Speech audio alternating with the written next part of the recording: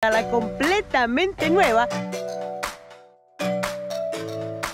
Toda una obra de arte esta Jeep Grand Cherokee. Hola, bienvenidos a un nuevo video. Yo soy Manuela Vázquez y hoy vamos a conocer a la completamente nueva Jeep Grand Cherokee. Y esta que vemos hoy es la Gran Cherokee más capaz, lujosa y avanzada tecnológicamente de la historia. Y como buen Jeep, por supuesto, cuenta con capacidades 4x4 y la desconexión del eje delantero cuando las condiciones de la carretera no requieran tracción total, haciendo que el vehículo funcione en tracción trasera, lo que ayuda a mejorar la economía de combustible. La tracción en las cuatro ruedas se reactiva automáticamente cuando los sensores del vehículo detectan que es necesaria.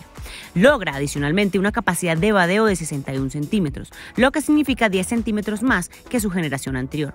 Cuenta además con 5 niveles de altura gracias a su suspensión neumática Quadralift, ahora con amortiguación electrónica semiactiva, que proporciona hasta 28.7 centímetros de altura libre al suelo. Esto en su nivel máximo de altura, lo que la hace con la mayor altura en su segmento. Y esta que vemos hoy es la única versión que llega por el momento a México y es la tope de gama que la marca llama Summit. Eso sí, recordemos que tenemos una variante que la marca llama Gran Cherokee L quien cambia básicamente en su largo, unos 29 centímetros más que le dan espacio para una tercera fila de asientos y capacidad hasta para 7 ocupantes. Si quieren ver el video completo de esta máquina, se los dejo por aquí. Pero bueno, continuando con quien estamos hoy, esta tiene capacidad para 5 ocupantes y dos filas de asientos. Tiene un largo de 4.91 metros, un alto de 1.80 metros y un ancho de 2.14 metros con espejos, mismo ancho que Gran Cherokee L. Llega en cinco colores disponibles. Este que vemos hoy, la marca lo llama rojo granate, pero mi color favorito es este. La marca lo llama gris báltico. Su motor es el ya conocido y premiado V8 Gemi de 5.7 litros que desarrolla 357 caballos de potencia y 390 libras-pie de torque. Todo esto acopla una transmisión automática de 8 velocidades. Su consumo de combustible combinado es de 8.38 kilómetros por litro. Logra una capacidad de arrastre de 3.265 kilogramos. Y su precio, 1.639.900 pesos mexicanos, lo que son aproximadamente unos 82 mil dólares americanos. En cuanto a seguridad, cuenta con más de 110 sistemas y elementos de seguridad activa y pasiva, entre ellos advertencia de colisión a gran velocidad con freno activo y detección de peatón y ciclistas, sensores de punto ciego y ruta transversal de reversa, sistema activo de control de carril, control de descenso en pendientes, control de tracción en las cuatro ruedas, control de velocidad de crucero adaptativo con función stop and go, cuenta además con 8 bolsas de aire, frenos de disco en las cuatro ruedas con sistema antibloqueo, entre otros. En cuanto a diseño, su techo ha sido rebajado para mejorar la aerodinámica y la eficiencia sin sacrificar la capacidad de carga y utilidad.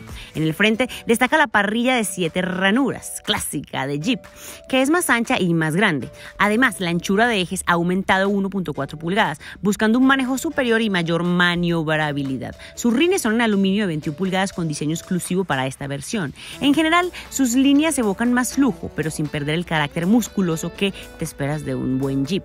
Toda su iluminación es full LED, tanto en su exterior como en su interior. ¿Y saben qué? Vamos a conocer de una vez ese interior. Bueno, y en su interior nos encontramos con excelentes materiales, un gran diseño y muy buen ensamble. Miren acá, tenemos esto es madera de poro abierto real que recorre toda la cabina. Tenemos también piel napa y piel Palermo y tenemos un sistema de sonido firmado por Macintosh de 19 bocinas. Adicionalmente, los asientos tienen movimientos eléctricos, 16 movimientos eléctricos cada uno de ellos y también te vas a poder dar masajes directamente desde este botón en ambos asientos. Allá tienes el otro botoncito también. Y ambos asientos cada uno tiene dos memorias para sus posiciones. Adicionalmente tenemos movimientos eléctricos para los cuatro vidrios y también para los retrovisores. Tenemos espacio para almacenar elementos en cada una de las puertas delanteras y ingresando nos encontramos con un volante multifunción que también tiene madera, es forrado en piel y algo bonito que debo de mencionar de una vez es que estos bordados que ustedes ven aquí son hechos a mano toda una obra de arte esta Jeep Grand Cherokee. Bueno, vamos a encender el auto, y va. Y toman vida nuestras pantallas de infoentretenimiento y el clúster de instrumentos. Un clúster de instrumentos que es completamente digital, donde vamos a poder ver diferente información en el centro. Me gusta la buena resolución y la información digamos que es básica, pero bastante importante tener, por ejemplo, información de nuestras llantas, de nuestros viajes y puedes personalizar lo que quieras ver ahí. Adicionalmente tenemos una pantalla de infoentretenimiento de 10.1 pulgadas que es compatible con Apple CarPlay, con Android Auto, tiene conectividad Bluetooth, radio AM/FM, todas, todas las de la ley. Y tenemos adicionalmente una tercera pantalla, también de 10.1 pulgadas, que es esa. Desde aquí tú no puedes ver, es más, estaba apagada, pero mira, ahí la encendemos. Igualmente, no ves nada desde aquí, pero esa es la idea, que el conductor no vea, pero que el pasajero sí vea lo que tenemos aquí. Vamos a poder conectar nuestro HDMI para ver películas, jugar videojuegos y también vas a poder tener acceso a la media directamente desde aquí para tú manipular el audio y decir, ¿sabes qué? Esta canción o la otra o la otra y también ayudar a el conductor con la navegación. Podrías tener aquí la navegación, eso está muy bien, pero ¿por qué no se ve desde aquí? porque la idea es que el conductor no se distraiga y se mantenga en el camino. Entonces es una pantalla exclusiva para él pasajero. Eso está muy bien, gran detalle. Y para que tú te mantengas en el camino, también tenemos un head-up display. No sé si lo alcanzan a ver ahí, porque quizás tenemos mucha luz en el exterior, pero se ve muy, muy bien, está bien ubicado. Y bueno, puedes cambiarle el brillo, la altura, lo cual está muy bien. Continuando por aquí, tenemos accesos directos a diferentes aplicaciones. Y debo de mencionar que Jeep ha mejorado muchísimo en cuanto a la velocidad, los gráficos de todo su sistema de infoentretenimiento. Este es el que la marca llama Unconnect 5. Y bueno, continuando por aquí, tenemos un sistema de aire acondicionado de cuatro zonas, dos en la parte delantera y dos en la parte trasera. Me gusta que son botones de fácil acceso y que directamente aquí vas a poder subir volumen, cambiar canciones también. Muy intuitiva toda esta parte aquí de la consola central. También vas a poder calefactar el volante directamente desde aquí y algo que se me olvidó mencionarles es que los asientos también son calefactables y ventilados y lo vas a poder hacer directamente desde aquí, los dos delanteros bueno, continuando por aquí, tenemos acceso a dos puertos USB tipo A, dos puertos USB tipo C, un acceso a HDMI, también una salida de 12 volts, un auxiliar y vamos a poder cargar nuestro celular aquí en esta parte central y puedes cerrarlo para mantener tu desorden ahí adentro. Adicionalmente tenemos, en vez de una palanca de cambios, tenemos una perilla donde vamos a poder cambiar nuestra marcha. Aquí vamos en parking, reversa, inmediatamente se activa nuestra cámara de reversa. Miren qué buena cámara de reversa tenemos, 360 grados y diferentes ángulos con muy buena resolución. Muy bien esta pantalla de infoentretenimiento y su cámara de reversa. Adicionalmente tenemos la posibilidad de ir a los modos de manejo directamente desde aquí donde van a cambiar diferentes áreas del auto. ¿A qué me refiero? Por ejemplo, dependiendo del modo de manejo en el que estés, la suspensión va a subir o va a bajar. Pero también adicionalmente, si tú estás por ejemplo en el modo Sport, pero quieres subir la suspensión, porque en el modo Sport la suspensión se baja toda, vas a poder manipular de manera independiente la suspensión de aquí, la altura de la suspensión que tenemos, recordemos, cinco niveles y también tenemos cinco modos de manejo. Algo que también cambia es la entrega de las revoluciones, por ejemplo. Van a cambiar diferentes aspectos de eh, cómo nos entrega la máquina. Los cinco modos de manejo los cambias directamente desde aquí y como pueden ver aquí nos va indicando en qué modo de manejo estamos. Para ir al for low va a ser directamente desde aquí. Tienes que ir a neutra, es más, yo ya estaba porque estaba probando ahorita cómo se hacía y simplemente vas a neutra, presionas aquí para activarlo y también para desactivarlo. Y bueno, vamos a parking y continuemos con lo que tenemos aquí. Tenemos acceso directamente con este botón a el asistente de descenso para activarlo y desactivarlo. Adicionalmente tenemos acá dos espacios para portavasos y quiero mostrarles la llave. Una llave que creo que le va muy bien a la personalidad del auto. Bueno, esto también vas a poder cerrarlo y así continuar con tu orden. También tenemos una guantera central de doble altura. Me gusta que es en gamuza su interior y también en la guantera delantera tenemos gamuza como también luz en su interior. Algo que sí me hubiera gustado es que esta guantera fuera mm, eh, un poco más grande. Creo que sí nos quedaron debiendo un poco de espacio. Adicionalmente, tenemos alcántara en toda la parte del el techo y los parales. Y eso le suma a la buena acústica del auto también. Tiene muy buen sistema de sonido, firmado por Macintosh, como ya les comenté, pero esto le suma a eso y también a que se sienta más sofisticada, más lujosa la camioneta. Detalles bonitos, miren esto. Los cinturones son en un color eh, como dorado que le va muy bien a la gama de colores que tiene todo el auto con la madera y con esta piel como en color crema, beige, muy muy bien. Tenemos eso sí, partes en piel oscura y bordados con el mismo color del el cinturón, por ejemplo. Muy bonitos detalles. Tenemos iluminación independiente acá en las plazas delanteras y tenemos también un techo panorámico. Sí. Y bueno, ya para pasar a la plaza trasera, debo mencionar que no se me olvide que tenemos movimientos en profundidad y en altura de manera eléctrica directamente en el volante. Y bueno, ahora sí, vamos a conocer esas plazas traseras. Venga. En la segunda fila nos encontramos con mismos materiales, mismo lujo, misma sofisticación que ya vivimos en las plazas delanteras. Tenemos también espacio para botellas y para otros elementos un poco más reducido que en la parte delantera y tenemos también una cortinilla de privacidad que nos va a proteger del sol y de la visual de los demás. Y ingresando. Vamos a ver cómo se vive el espacio. Tenemos con referencia a el asiento delantero dos puños acá. Recuerden que yo mido unos 72 y esto nos da una idea porque estoy en mi posición de manejo como si dos adultos de unos 72 viajaran aquí. Bastante amplio el espacio, puedo meter los pies debajo, lo cual me va a permitir viajar más cómodamente. Tenemos un túnel que es relativamente marcado para el tercer pasajero que podría viajar aquí en el centro. Sin embargo, creo que es una máquina donde los dos pasajeros de los lados, si viajan solos, van a viajar muchísimo más cómodos. Porque tienes aquí, mira, para portavasos, para apoyar tu brazo. Tenemos dos zonas de aire acondicionado y también vas a poder calefactar y ventilar ambos asientos, este y este. Sin embargo, si viajan tres pasajeros, creo que sí van a poder viajar tres adultos relativamente cómodos.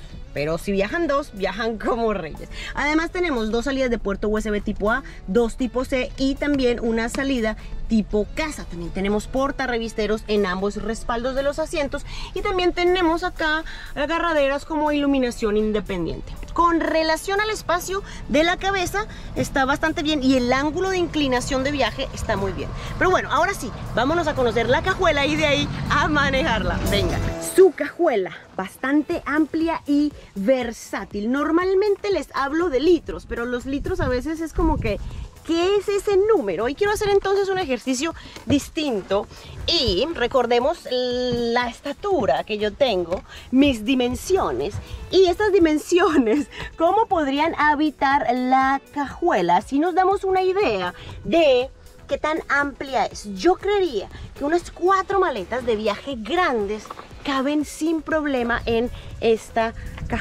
lo cual está muy muy bien, muy amplia. Adicionalmente versátil, tenemos ganchos de sujeción en cada una de las esquinas, también tenemos una salida a 12 volts y un espacio acá pequeño como para almacenar elementos que estén a la mano. También tenemos, por supuesto, una llanta de refacción con todo su kit para cambio y otros espacios que puedas utilizar para elementos que estén aquí ah, lejos de la visual de los demás y más protegidos. Pero bueno, ahora sí, lo mejor de este video, vamos a probarla. Venga. Sensaciones de manejo de esta nueva generación de Gran Cherokee.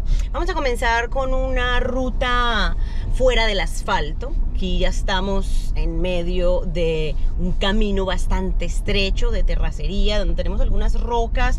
Nada mm, muy extremo, pero sí nos permite sentir cómo funciona la suspensión, una, suspensión que te deja sentir, ¿vieron ahí? Pasamos por un, hoyito fuerte y, absorbe bien, te deja continuar con, cierto confort, tienes muy buena visual y a pesar de que tienes buena visual para dimensionar el auto como tal, te ayudan muchísimo las cámaras. Tenemos una cámara que te deja visualizar directamente hacia adelante, también otra hacia atrás y tenemos una panorámica que es una 360 grados donde puedes ver todo alrededor. Eso ayuda muchísimo. También tenemos modos de manejo que directamente con el toque aquí de un botón el auto cambia todas sus características, incluso la altura em, libre que tiene con relación al suelo. Además, independientemente del modo de manejo en el que estés, puedes de manera independiente tú modificar esa altura, lo cual pues le suma muchísimo a la versatilidad y a la, a la capacidad de esta máquina para salirse del asfalto y para estar en el asfalto. Porque, por ejemplo, cuando estás en el asfalto, que ahorita vamos para allá, si tú bajas la suspensión, el auto va a tener mucha mayor aerodinámica, va a ser más ágil, va a ser más seguro. Y acá, si subes la suspensión, pues vas a tener mejor ángulo de entrada, mejor ángulo de salida, un auto que pues va a ser más capaz y también vas a poder cuidarlo porque no queremos dañar un auto de 1.6 millones de pesos mexicanos pero vaya que se siente bien, se siente capaz. Ahí tuvimos la posibilidad de, hacer algunas pruebas, unas subidas importantes, donde nos permitió ver que sí, es un Jeep neto, no es un Wrangler, pero eh, para tener este lujo, esta sofisticación, este buen andar, este motor, que ahorita más adelante les hablo mejor de ese motor cuando le empujemos en la carretera, em, que logre estas capacidades fuera del asfalto, vaya, vaya, que, que lo hace muy único, muy único, sí, definitivamente. Pero bueno, ahora sí, ya nos vamos a salir de, del off-road, del todoterreno, y vamos a probarlo eh, pues, en el asfalto. Venga, vamos a darle. Y ahora sí, vamos al asfalto, más bien estamos en el asfalto. Vamos a sentir este bellísimo V8 Gemi. 5.7 litros, 357 caballos de potencia, 390 libras pie de torque. En este momento estoy en el modo Sport, entonces la suspensión está completamente baja. Tenemos una respuesta de la aceleración inmediata, es muy lineal. ¡Oh! Bonita, los cambios transmisión es muy suave. No, sé si alcanzaron a percibir. Ahí hicimos un cambio y no se sentía para nada. Es, es una camioneta definitivamente confortable, pero rápida, relativamente ágil, porque sí se siente pesadona. Si le exiges bastante, tienes que estar atento. Con el volante eh, de apuntar bien, porque ella sí, sí jala, sí tiende a salirse un poco. Es pesada y como no percibes la velocidad tanto, porque la verdad que se siente el confort y, la insonorización del auto. se te olvida que vas tan rápido, no te das cuenta. Entonces hay que, hay que siempre eh, recordar que es un auto pues, pesado, ¿no? Pero este motor hace que empuje rápido. Me gustan los frenos. El volante transmite bien, pero eh, quizás anestesia un poco lo que sentimos del pavimento. Me hubiera gustado sentir quizás un poco más para entender un poco más el límite del auto. Lo mejor, el asiento. ¡Oh, qué buena posición de manejo! Los movimientos del volante son eléctricos y tenemos 16 movimientos en el asiento. Entonces eso nos permite encontrar una posición de manejo óptima. En cuanto a la comunicación con el exterior, tengo muy buena visual 360 grados, no tengo ciego. En general es una camioneta divertida, rápida. A ver, no sé si podríamos hablar de deportividad, yo creería que no, pero sí muy rápida, que no te vas a sentir nunca que este motor te quedó pequeño y donde vas a sentir el confort todo el tiempo y el lujo. Es una marcha muy cómoda para viajes largos, para la ciudad. Las dimensiones de la camioneta muy acordes. Recordemos que tenemos la versión L, que es la más larga. Si no necesitas llevar a, si tu familia no es tan grande, creo que esta es una excelente opción porque va a ser un poco más versátil para convivir con ella en la ciudad. Pero bueno, Ahora sí, estamos llegando al final del video. Muchísimas gracias por estar aquí. Recuerden que los quiero muchísimo. Que todos los jueves y todos los domingos tenemos un nuevo video. Espero verlos en un próximo video. Les dejo un besote. Bye.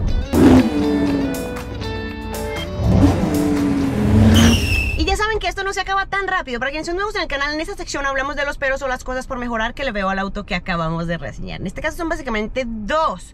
No fue fácil encontrarlas porque en general es una máquina muy completa.